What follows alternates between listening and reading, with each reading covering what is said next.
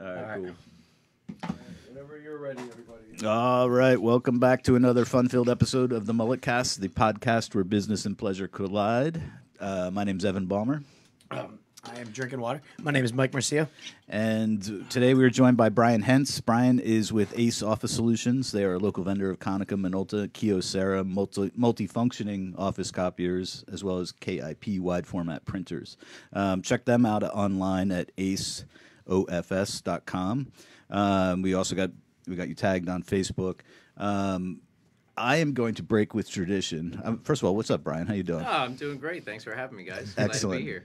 Um, today we're going to pull the first ever reverse mullet. Oh. Um, we I always like it. we always start out with the business in the front and pleasure in the back. But you just dropped the bomb on us when you walked in the studio today.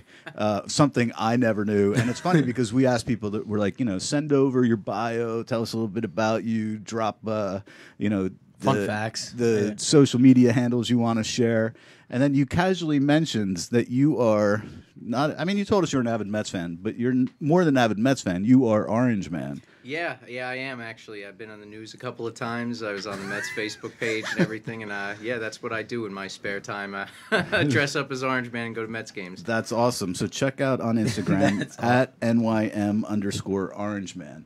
Um, how did you become a Mets fan? Oh boy, that goes back a really long time. Uh, my grandfather, actually, I grew up. Uh, that my grandmother and grandfather lived with me until I was about ten years old, and I just remember sitting on his knee watching the Mets games with him until he passed when I was at a very young age. But my grandfather was very close to me, and uh, really just that's been my way of still connecting with him after death. Right. And it's you know it's been a rough road, that's for sure. But Yeah. you know it's still been a fun ride, and I, I love my team. So that's you? That would be me. That's What? awesome, man. That's hilarious. now, did your grandfather throw on orange suits as well? You know, he did not. he, he was a snazzy dresser, but I don't know if he would have had the courage to do what I do. That's cool. So, what made you? Uh, how do you do that for the first time? Yeah, you know, I was at the Halloween store. That's really what it was, like right around October, and I was going to look for something else, and I saw this suit sitting there, and I was like, oh, that would be perfect for Mets games. Right. And I wore it to the first Mets game, and I realized I can't see a goddamn thing. you can see like five feet in front of you, even Right. on like a day game. So I'm like, how am I going to do this? Right. Like, I can't cut a hole. You know what that would look like for Right. my mouth. Yeah. so I'm like, all right, so e- eating and drinking is out. Yeah. And I figured I got to see, so I poked eye holes in it and wore the shades over it, so it doesn't look that weird. That but, actually uh, looks legit. Yeah. So. I can actually see perfectly Now- fine through the shades. The hair is separate. Yeah, it's an additional hat. There you go. That's sweet. Now, is that hair sewn into the Mets headband, or are those two? Uh, yeah, it's two like a winter cap. So it's sort of like our This is a mullet piece we have too. Yeah, exactly. That's killer, man. Yeah, it's really a hit at the games. I'm telling you, I take like at least 50 to 100 pictures with people as I walk around. Like everyone treats me like a mascot. It's a lot of fun. Has Right. anyone uh, try to copy you? Yeah, Yeah? actually, some guy actually took my picture and put it as his profile picture and tried to say it was him, and I was like, thanks. Wow. It's a little weird. It's a copyright right there. Well, I mean, you've never seen the two of you together, so yeah, it's possible. exactly. You never know. All right. So, what year did you break out Orangeman? I want to say it's been about seven years, give or take. I've been going so opening funny. day 11 years in a row. Uh, I, I really wouldn't miss a game if they go to the playoffs, which I haven't. Uh, it's it's you know it's dedication to a pretty crappy team. That's cool, man. It looks like you got some uh, Mets Jello shots there. Do you pack those or? Oh those yeah, I mean you, supplied to you can see we got a crew of like 30 people. We started 11 years ago with me and three friends, and it's turned into a party bus of 30 people every That's year. awesome. just Is it really? Every year we get more and more people. Where we even have too much for the bus, people meet us there. Right. We have a big group. We get like 40 tickets. That's cool. You I think- started that? uh, me and three of my buddies. Yeah. That's all. Now, have you thought of getting your own Orangeman mobile? You know, maybe in the future when I have those extra funds to get my own Mets bus and where I can store it somewhere. Yeah, maybe. That's maybe. cool, man. Um, so, sorry, what year did you bust this out? Did you say About seven years ago. seven I'd say. years ago? And then, how many games would you say you hit a year?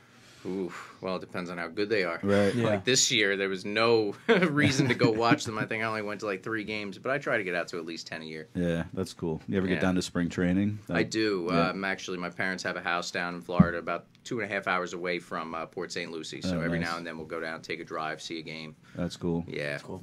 You got any? Who are your favorite Mets?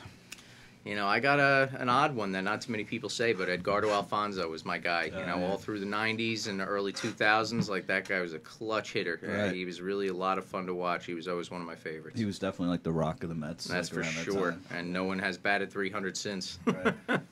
So, uh, I mean, I have similar baseball memories as you. It's funny. I had one grandfather that was a Mets fan and one that was a Yankees fan, and like I remember like yesterday watching games with them, and they, that's what they did. Like every night there was a game. It was crazy. Oh yeah. Um, and then for like, by I guess I'm lucky, but I was just equally as cursed as when I was a kid. I was a Nolan Ryan fan, um, and I remember going out and buying like for ten bucks at the time when I was probably ten years old, like a Nolan Ryan rookie card when he's on the Mets. You know, so fortunately, when I by the time I knew him, he was an Astro, so I became an Astros fan. Um, well, there you go. He you know. saved you. but I, he saved me from like your misery. But Yeah. I mean, I had my own misery for a long time. Like you know, I mean, we we were a successful team, but I never thought I'd see a World Series championship, and then we finally did. So. I still don't know if I will. Right. That's right. You're a younger generation of. Uh, It's up in the air, man. Yep. Last day of '89, I was born. Were you really? Yeah. Wow. That's crazy, man. All right, so we'll keep it on the uh, the backside of your mullet for a while. You've got some other some other crazy hobbies. You s- you sing in a band. I do. Oh, do you really? Yeah. I didn't know that either. Yeah, See, this local. guy's I like am- he's got all the secrets. Man. Yeah. He's, he's Orangeman. He's a singer. Yeah. like, Yeah. I thought I thought bowling was gonna be the hot topic, but let's. You I'm gotta pretty have, psyched gotta to have hear some mystery to me, man. you Yeah. know? Right. I got to turn the pages, have something to figure out. All So right, so what's tell the us about band? your band. Yeah. So I mean, uh, believe it or not, I, I went to Monmouth University. So I mean, I'm local right here in Monmouth County. You know, that's I know like the back of my hand. And I was hanging out at the local bar, uh, Jack's Goal Line Stand. Yep. They do Best karaoke. Yeah. So that was like the Monmouth hangout where all the students went. So over my course of going to school there, I went there all the time, and they do karaoke. So I Yeah. like to do karaoke. And I was sitting down at the bar, and there was this guy next to me, just like casually having small talk, talking about sports, whatever was on TV, and I went up to sing. When I came back, he was like, "Wow, man, that was really good." And I'm like, "Oh yeah, thanks, I appreciate it." He's like, "No, seriously, like you're really good." I'm like, "Well, thank you, I, I really do appreciate the comments." And he was like, "Well, I actually play in a band, a band. I play by myself, and I play acoustic guitar in local bars, and I Right. sing, but I'm not that good." So he's like, "If you want, like maybe come join me on Thursday. You know, I just do some cover songs. You can bring up an iPad, sing the lyrics or whatever. Right. You know, we get a small crowd, and that was like." Two years ago, Mhm. and now like we're really good friends. We practice all the time. We haven't had much time for uh, too many gigs lately because he's actually in the um, he's in the Coast Guard. Okay. So he got called out for like two months. So Oh, that really put a damper on our rehearsal schedule. But uh, you know, we've been doing some local bars. We've been doing like graduation parties, little small get-togethers, backyard parties, those sorts of things. Nice. But Nice. you know, for something that we threw together two years ago, it's been a lot of fun. That's cool. What kind of music do you guys play? Uh, we do a lot of like uh, today's hits, like rock. Um, nothing really back past the '90s. Right. Uh, we try to keep it like to today's generation, so when we go to local bars with young people, that they'll appreciate it.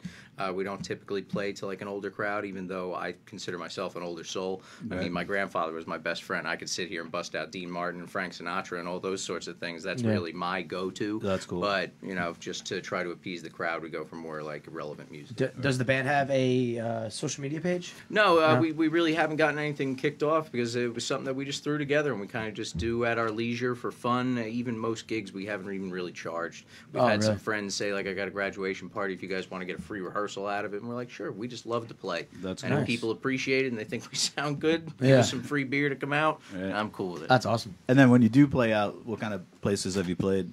Um, I'm trying to think. We did uh, that place down the street from Jack's uh, in Long Branch that's changed like three times on the corner.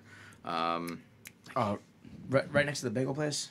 I think so. Yeah. Right on the corner of uh, Brighton, I think it is Yeah. over there. Brighton Bar. Uh, I think Richie played by himself one of these days that I wasn't around. But cool. yeah, any of these local pubs. Um, Celtic we played a couple of months ago. Right. Nice. Yeah, That's sweet. Always where looking you for new where are you from originally? What's your Sayreville. hometown? Sayreville. Born and now, raised. Now you live down here. I live in New Brunswick. Okay, nice. Yeah. That's cool. All right, let's talk some bowling, man. All Yeah. right. What do you want to talk about bowling? Lay it on me.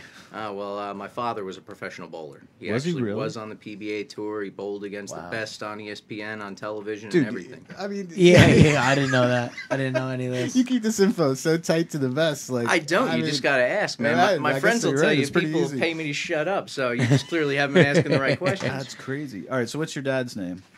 My dad's name, believe it or not, is Crane. Mm-hmm. You know, like the bird or the heavy machinery or the toilet brand. yeah, my dad has a very unique name, and it was actually my grandfather's name too. So I'm Oh, wow. truly blessed that he didn't go with Crane the third. But um, Yeah. it was a blessing and a curse because I go anywhere and no one ever forgets my father's name. And Okay. I, I mean, one of the coolest things was I was working at the bowling alley when I was 18, Mm-hmm. and uh, the pro tour came through, and I got a break, and I ran around with like a shirt that I wanted to get signed from all the pros that I'd been watching on TV, and I went up to Parker Bohn, who's been one of the best bowlers for the last 25 years, and I went up to him and I said, "Excuse me, I was really hoping to get your autograph. My name is Brian Hentz," and he goes, "Wait a minute, Hentz." He goes, Your father is Crane. I was like, Really? You remember him? And he was Right. like, Remember him. Your father is probably the nicest guy I've ever met on the pro tour. Really? I wish him nothing but the best. Please tell him I said hello. And I was like, Wow. He wasn't bullshitting. all, all these times growing up telling me he knew these guys, he wasn't kidding. Wow. And uh, it was really cool to get that kind of recognition and like reassurance that, you know, my dad has been showing me the right way to do things in the bowling alley because it can be a toxic environment if you let it get to you because Right. there's a lot of shady stuff going on in the bowling alley. But Right. it's a matter of just, you know, same way I like to conduct my business, just being square and honest with people, Yeah. sportsmanship. Yeah. Excuse Right. me. But um, I've been bowling since I was three years old. I, my dad really got me going as soon as I could walk. And uh, no sooner I like turned 18 and was like able to bowl adult with him. We've been doing doubles leagues. Uh, like, That's cool. got 10 300s. My dad has 17 of them. Still Oh trying gosh. to catch him. Wow. That's crazy. But uh, yeah, I, I bowl a lot. There's times like in the winter when uh, I got some things going that I might even be five, six days a week sometimes. Yeah. Did Monmouth have a bowling team? You know, that was the most aggravating thing about Monmouth University to me because I went there, I found out that they had a club. Okay. I got a scholarship to go to William Paterson, which is one of the best bowling schools in the country. Their Okay, A team is like number two or three, and their B team is top 10, and their C team is like top 15. Okay. Meanwhile, we had a club. But I was more worried about education than I was a bowling team. Mm. So I went to Monmouth, and we started up the club. We were terrible. We drove all over the place to upstate New York, to Delaware, to Maryland, and we'd go to these tournaments and come in dead last. Yeah. it was so frustrating. And then when I leave Monmouth, they build the Mac and they install a bowling alley in No the basement. way. Oh. I was like, man. who who can I call? Yeah, who can. I just show up and Yeah. wring someone's neck for a few seconds? Because I was so aggravated that I That could have been practicing for Did, free all those did you years. get any credit to to that happening or No, no? no, because I mean, our, our team was so bad. There wasn't Yeah. even like you know any sort of records that we set, or there was no milestone of like, hey, you did the best in that individual tournament. We were just in a different league. Okay. and it, we really didn't even compete, but it was still fun. It Yeah. was something to do, you know, and really get out there and compete with some really good bowlers throughout the country. No. That's really cool. Yeah. What what does your dad do now? Uh, my dad's been retired for 26 years, 25 years. He's had a lot of heart issues. So he, re- he retired from public service a long time ago, and then he had to stop his bowling career too, because you can't exactly take off of work on disability, then see him on TV bowling on E ESPN. Yeah. So he had to kind of, that took a back seat, but he's been, you know, stay at home dad, mom, whatever you want to call it, Mr. Mom, all these years, and it's been really rewarding being able to have him at home and share all these things with him and be able to go bowling, go golfing, and Yeah. he's been at every sporting event, every bowling match, every time I was on stage for a show or something. Like he's always been there, so it's been really nice. That's cool. I'll, uh, sorry, I'll just read something you said about your dad because you shared something with us. Pretty cool. So while you're talking about it, it said uh, that you do take after your dad. He's your teacher, your mentor, your critic, and best friend. Uh, that he taught you to do a job, big or small, and do it right or not at all. Um, and that's how you deal squarely and honestly and Yeah. keep your word, basically. Absolutely. I I, mean, it, it's kind of like a life motto. It's something that like I can just hear like a record player just going on in my head anytime, even when my dad's not around. If I'm doing a job and I leave it half-ass, I'll stop. I'll hear it and I'll turn around and be like, just do the job right. Yeah. Like you're, you're doing it, get it done. I, it's really been motivation throughout my whole life with anything that I've taken on. And I, you know, it's a catchy little slogan. I've used it in a lot of job interviews and it goes a long way, but it's something that I, I truly believe. I love that. Now you said uh, your dad's been to sporting events. uh, You said on stage. Yeah, I acted for about 12 years. Let's get into that. Well, we got a lot of mullet conversation. Yeah, I I love man. it. Yeah, this kind of goes hand in hand with uh, the singing. I mean, I've just I've done musical theater going back to when I was like seven years old. Did it all the way up to college. Uh, did a lot of like public theater. I Okay. mean, I was Kenickie in Grease, Charlie Brown and Charlie Brown, Oliver and Oliver. The list goes on. I probably did like I don't know, maybe 15 shows or something like that throughout my acting career. But um, it was a lot of fun. It was something that maybe I wish I would have pursued a little bit more because Yeah. I enjoy it so much. But I was thinking practically, and I was saying to myself, do I chase a dream? And maybe end up in my parents' basement at 35 or going out to California and coming back broke or something like that Yeah. or take advantage of an opportunity. And I had my parents to support me all through college, get a good degree, ended up getting my master's degree in criminal justice. Wow. I'm in sales now, so riddle Right. me that. But in, the- in the same sense, I was a little worried to really jump uh, out on a ledge like that. Yeah. Now here we are, where I'm approaching 30, and my father says to me the other day, like sitting there having a beer, and he sighs and goes, "You know." I really wish you would have pursued acting. Oh, there you go. You, you Yeah. could have been so good. You were so much better than a lot of the people you were on stage with. I really would have liked to see that. I'm like, information that would have been good to me yesterday. Yeah. yeah. Is it too late? Uh, Yeah, you know, it's never It's too never late, too man. It's never too late. But you know, I, I got a good gig going right now that I really like, and I'm able to put enough money away where who knows, you know, Yeah. down the road when I when I got you know another door opens, you know, we'll we'll see if that's something I want to pursue later in life. I mean, Steve Carell didn't even become famous until he was 40. Yeah. So I mean, right. there's The Office, right? Yeah. Yeah, Yeah. I mean, there, there's plenty of outlets, and you know, Rodney. Yeah, It's all about who you know, and that's the great thing about being in sales is that I network all the time. Yeah. and I get to meet a lot of great people that uh, are able to show me different opportunities, like the one I'm sitting in right Yeah, now. I yeah, mean, like yeah. heck, if I didn't network and meet you guys at Latip, I wouldn't be here today. Yeah. So it, it's uh, it's been fun. And actually, your Carell's like a good segue to uh, the front of your mullet, which is your business side, because you work for Ace Office Solutions, which maybe is a little bit like, uh, Dunder Mifflin. yeah, You know, it's funny. It is, and a lot of my friends made that joke. They've been calling me the Jim Halpert like type of thing because I, you know, we we don't sell paper, but we sell the paper accessories Yeah. that go inside the product that Right. we're selling. So it is all like that sort of jargon. What was uh, Sa- Sabre was the paper company? Yes, exactly. Office. Yep, Yeah. I'm a diehard, so. yep. And they sold the printers that lit on fire. Yes. Ah, yeah. Yeah. nice. Ours Not- not don't. You guys don't. Ours right? don't.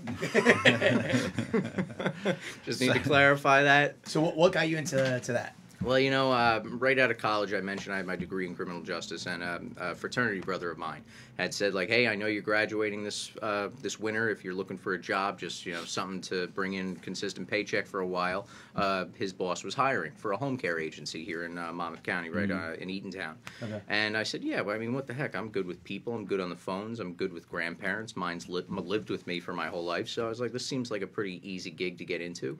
And I was doing that for like maybe three months before I met the CEO of the company at a Christmas party. And he had a brief conversation with me, and naturally, he was uh, interested in the acting and the singing. And I was on American Idol. He wanted to hear the story. Mm-hmm. Oh, were you really? Yeah, I was on American Idol, made television, met Simon and all them. So he really wanted to hear that story. So after I told him that, he went up to my boss. He's like, "Where's your boss? Where is he?" And he pulled him over, and it's this guy Michael Bailey that I wanted to come on your show too. But Right. so he says to Mike, "What is he doing?" And he said, uh, "I got him answering phones, like staffing cases." And he said, "If you don't get him out on the road selling, you're fired."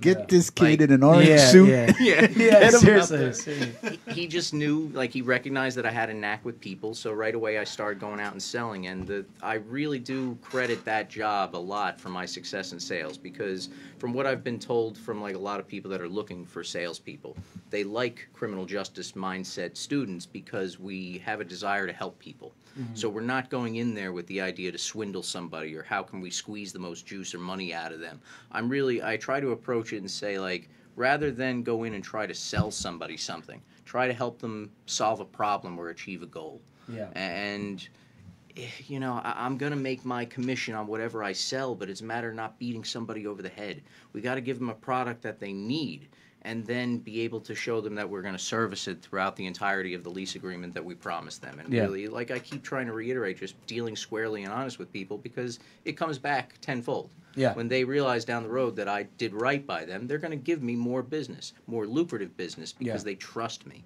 So it's I really do try to build that trust aspect going in, and because in all honesty, there's not many variations between printers and copiers. They Right. all do what you need them to do. They print, copy, scan, fax. They got hole punch. They got stapling, finishers. I mean, you can figure out all of these things that a printer has, especially working in a law office. You use these. You know what these machines do, and everyone's going to come in. They're going to try to undercut you and give you a better price or something like that. But it all comes down to the service. Right. And our service really is second to none. I mean, I haven't been with the company a very long time, but I inherited a lot of customers, and I called them all up to introduce myself, and they had nothing but amazing things to say about the service. And that really reassured me to kind of stick with this job and with this company because really I've, I've heard no bad things, and Right. they, they sell a quality product. So, what kind of uh, target customers do you have? Like, who are you providing machines for? Well, I mean, you can imagine it, it's a pretty easy gig in the sense that everyone needs a copier. Mm-hmm. If you work in an office, if you have any sort of paper volume, even if you work in a home office and you don't want to be sitting there for an hour to print out a 50 page document, it might be time for an upgrade. Right. And I see a lot of people that don't necessarily, and hey, I didn't even realize it before I took this job, and I've worked in plenty of offices, but a lot of people think they're doing themselves a favor getting these little desktop units from Staples. You pay a couple hundred bucks, and they get the job done. And Right. You look at that and say, that was a cheap expense. You go to your budget and you say, I only spent a few hundred bucks. Right. But then you don't realize every month you're buying the toner that costs 80 bucks a pop. Right. So if you just would have went with a bigger machine with a lease agreement that was only a couple more bucks a month, Mm-hmm. you don't even have to worry about the toner, and it shows up at your doorstep when it's out. Right. So it's a much simpler process that I think more business owners need to really take it into consideration that this is actually an opportunity to save some money. Right. Mm-hmm. I even had a guy the other day saying like, "Listen, I, I was thinking about it, and we just have way too many monthly costs around here, and I'm trying to reduce that, so I don't know if I want to do a lease agreement." We reviewed his situation and saw the machine that he was using was wasteful. It was mm-hmm. old. It was just hemorrhaging money, and I got him a brand new machine, twice the size, twice the speed for half the price. So people just don't even realize what Right. options are out there for them. It's funny because printers really are. They're like uh, they got to be a loss leader for all these companies. Is they're really just toner sales. You know, it's a vessel to sell you toner, basically. It's Yeah. true. It's wild. So it's funny. Is like I did the when I first opened my office. Um, bought one of those Staples machines, right? And I'm doing like one of my first closings, and I got this like thick loan packet that has to be scanned and faxed out, right? So I excuse myself from the closing table, go up to scan this like 200 page monstrosity, um, you know, and when you buy the thing, you're like, oh, it sounds like it scans pretty fast, right? And then you realize, like, you know, one page at a time. You know, I'm go- I'm literally gone for like a half hour. Everyone's like, "Where the hell did that guy go, man?" You Yeah. know, meanwhile, right no one else can use it while you're using Right, it either. so it, it So- clogs up the whole thing. Yeah, it's true.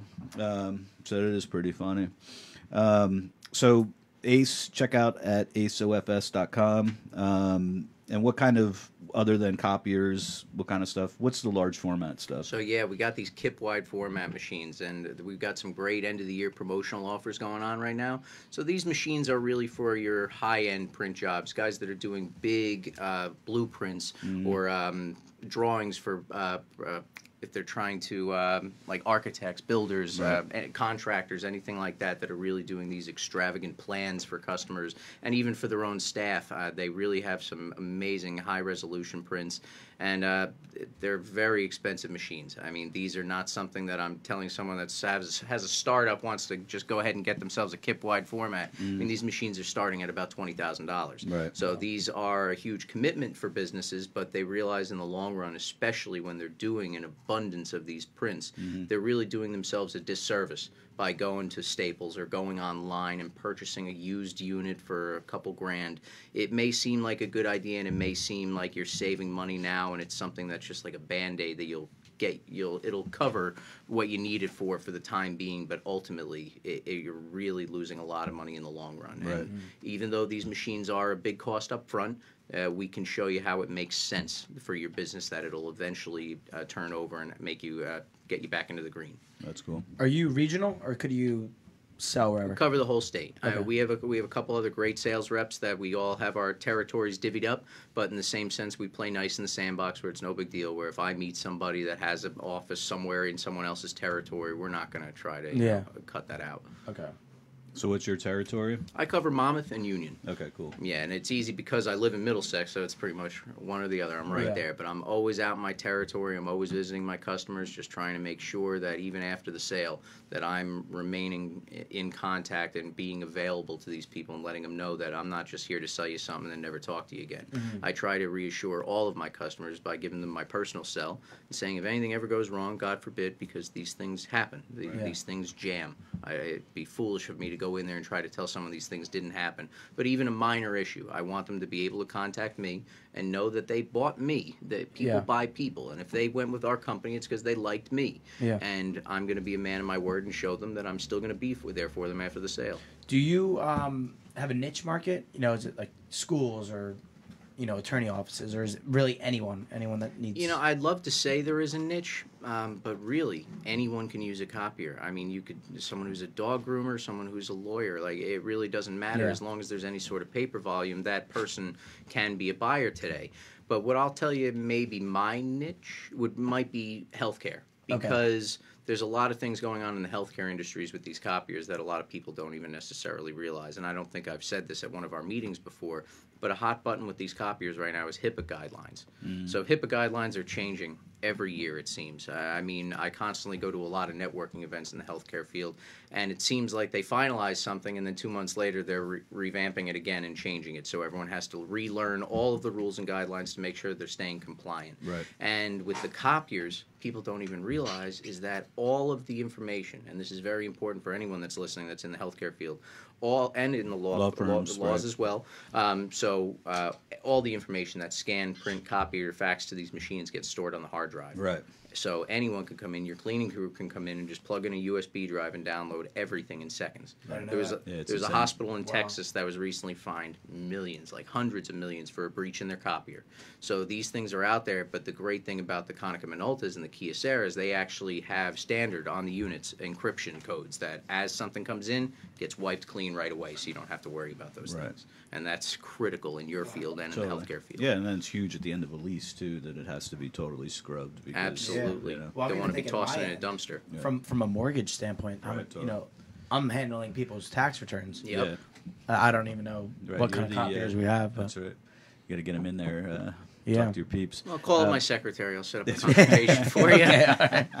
So have you noticed is there a change in business of people trying to go, you know, paper free and keeping stuff in the cloud? That, Uh, I mean, yeah, that kind of just goes with you know the future. Everyone's Right. trying to get away from paper, but you know as well as I do, especially in your field, you, you can't get away from Entirely, paper right. completely. As much as you can like take a filing cabinet and bring it down to a USB drive or Mm-hmm. something, you still need your hard copies. You need your signed uh, copies. Right. So it's never going to completely go away. Right. It's just that we'll start seeing people's volume going down, and Yeah. that's not necessarily a bad thing because then it's less wear and tear on the machines, and they'll last a little bit longer. right.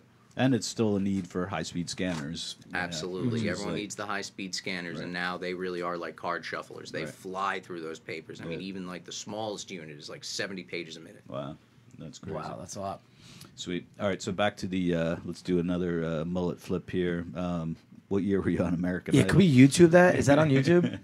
it's not on YouTube. Um, that was, I was 15, so let me think. That was 14 years ago. So 2004, 2005 it was. Did you make it through the first round? I made it through three rounds. No. Oh uh, my god. So believe it or not, they try to make it seem like it all happens in I'm, one I'm day. googling it right there. So, so just let me see if I can find it there. They, they try to make it seem like it happens all in one day, but it was a matter of like a month. Right. And they make you cut your hair the same way, show Oh, up in the same T-shirt, same Oh, pair of really? jeans. So- Like, yeah, they want to make it seem like it was all done in one production day. Right. But What- in actuality, I showed up to uh, the Izod Center. Okay. And there were 14,000 people all sitting in the stands around the basketball court. Right. They had about 14 tables uh, lined up across the court, and Mm-hmm. they had two judges at each one.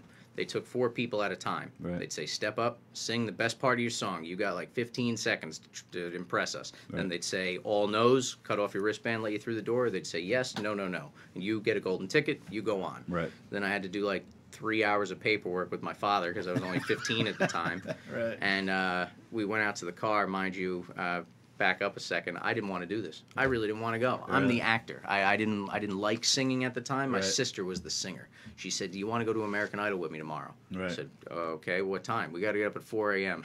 no, no, you have fun. Right. Let me know how that goes. And at 4 a.m. she woke me up. Right. So needless to say, I made it. She did not. Uh-huh. She didn't talk to me for like two weeks. Right. We, we went out to the car. She's sitting there pouting, all upset that I made it and she didn't. but then we had to go back to Chelsea Piers uh, Right. two weeks later, and we had to wait outside for two hours. Then the judges showed up. We went in. We had to wait in this room with a whole bunch of chairs, just like a conference center room, and we're all sitting in rows. Had to wait 13 and a half hours before I could sing in front of the judges. Right. Got through that one, no problem, and then uh, had to So come were back. those what judges? were- They were just producers, Okay, right. people that you might have seen on some other shows, but not necessarily the big names of the three judges that everyone typically thinks of. Right. And then we had to come back two weeks later, wait another two hours outside, another 13 hours inside, Hmm. and then they tell us I was like at the back of the line. They said, um, Simon, Paula, and Randy are a little tired, so we're wondering if you can come back tomorrow. I was like, I came from Sayreville, had to pay like $150 for parking, and I sat here for 15 hours Oh, today. I'm singing. I am. Even my dad was like, "I'm not doing this again. Forget Right. it. You tell him you're getting in there and singing." Right. So I went in and I said, "Listen, I really want to sing the Long and Winding Road." And they said, "Ah, we can't let you sing that." I was like, "What?" I, I got a vocal coach and she taught me how to sing that song. Right. I've been practicing it for weeks. What do you mean? They're like, "Sorry, Michael Jackson owns the copyright for that song. We can't let you sing it on television." I'm Right. so I'm 15 years old and now I'm standing in front of celebrities. I was like, what do I do? Right. I just sang "God Bless America," and I did well. But Uh-huh. and all three of them had nothing but nice things to say. I mean, Paula didn't really contribute. She was kind of like, "You're so cute." Right. but um, Randy told me I did my thing, dog. And then uh,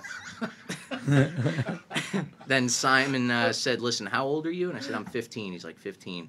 I can tell you you look really young." But he said, "You know, you do have a lot of natural talent." I said, "Oh, okay. Right. Where's the insult coming? and he was like, and there's people in this competition that are 28 years old that have fully developed vocal cords, and I can kind of tell that you're in that interim where your voice is kind of struggling as to where it wants to go. Right. So You're he like said, uh, the Peter Brady stage. exactly. So he he very nicely just said to me like, I think you will stand a better chance in this competition in a couple of years once your voice develops. Continue with that vocal trainer and really see where you could go with this. I just don't. I see this being a letdown experience for you if we let you go through because you're not going to be able to compete with these people that have been doing this as a profession. Right. So he encouraged me to come back in a few years.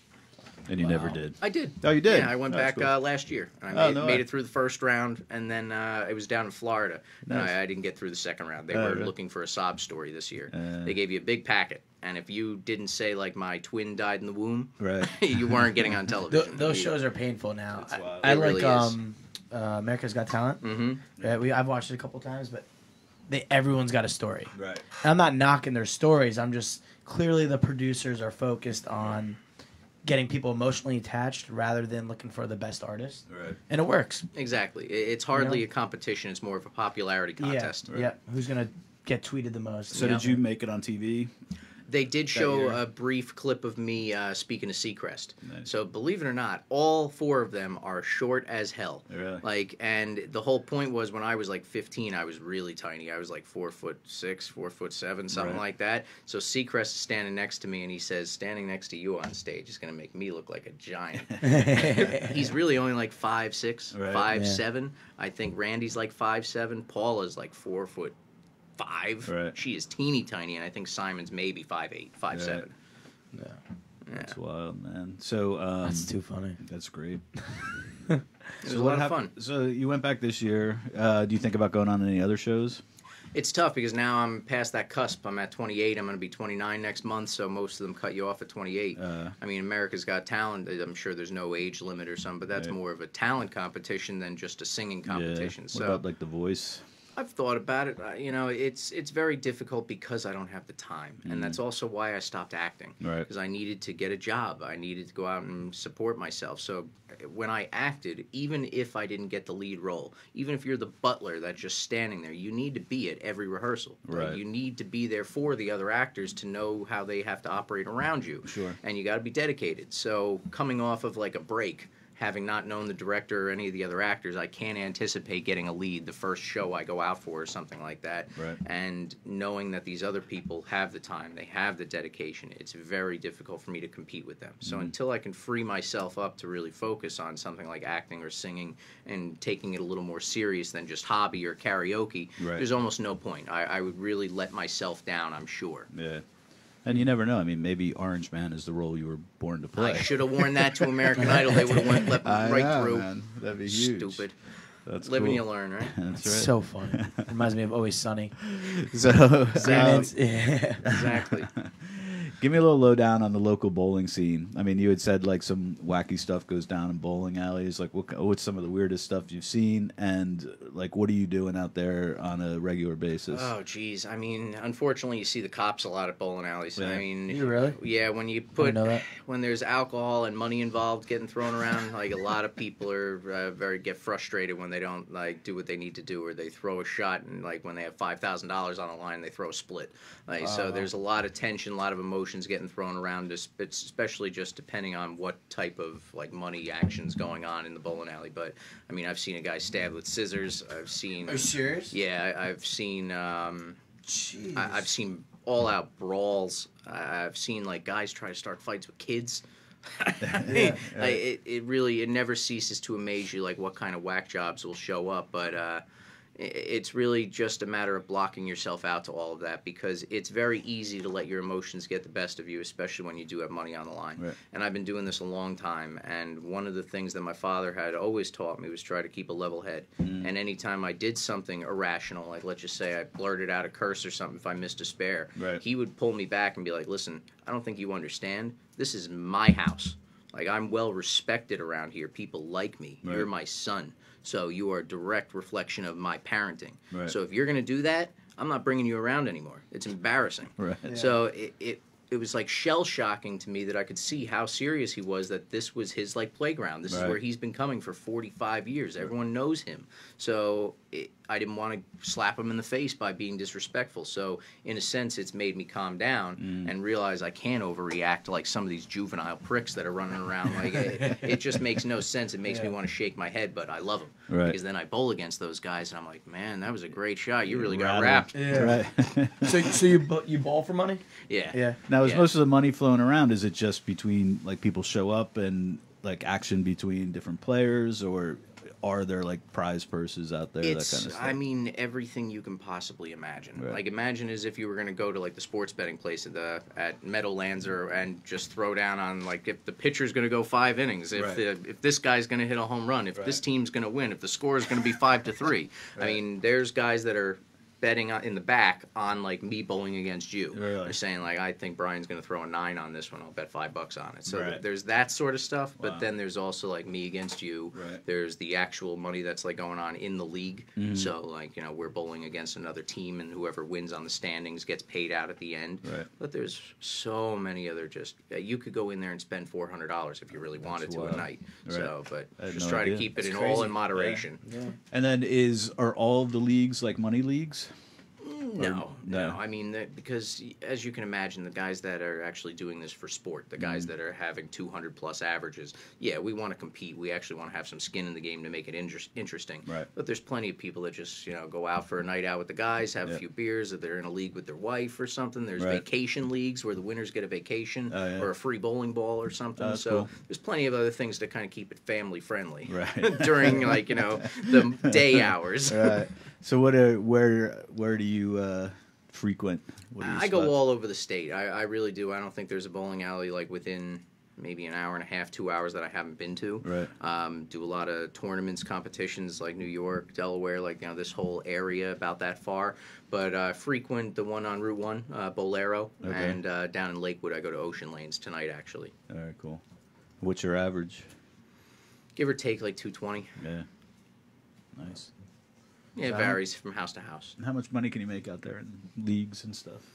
I It, it really does depend. I mean, just like anything else, when you have a hot streak, you gotta like be in there. You gotta be in it to win it. Right. So I mean, I've had years that I probably broke even, or maybe even lost a few bucks, and then I've had years I won like ten grand. Right. So I mean, it, Nice. it, it has been like a second income, and even when I was between jobs for a few months, I was able to do that solely and be able to pay my rent and you know, uh, support myself. That's so, pretty cool. Yeah, it's it's great that, that I enjoy doing it, and there actually can be some money if I'm smart about it. Right. Yeah. That's awesome. I like that side hustle. Exactly. Yeah. I think there's a. We should talk about that. I think there's a movie in this. Uh, I'm picturing like a Rounders of the bowling leagues. Yeah, you know? dressed as Orangeman. That'd be sweet. Dressed Yeah. as Orangeman, totally. That would be killer. All right, awesome. So, Brian, thanks for coming in. Um, once again, if you are, you know, a local business owner or you know someone that needs a, a printer, copier, scanner, check out Ace OFS, which is Ace Office Solutions, right? You got Uh, it. AceOFS.com.